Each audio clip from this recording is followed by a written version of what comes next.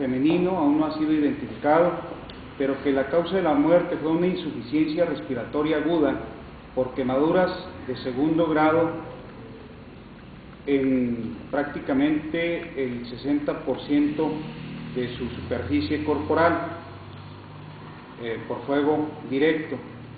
En este momento todavía se desconoce la identidad y las circunstancias en las que ella falleció.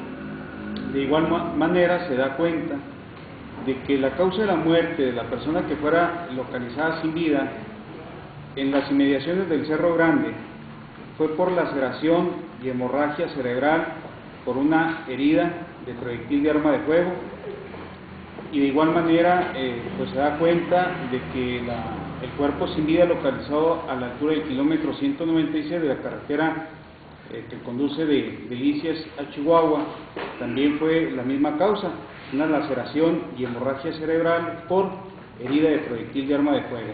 En estos tres casos, eh, los cuerpos aún no han sido identificados. Es básicamente la información que tenemos hasta este momento.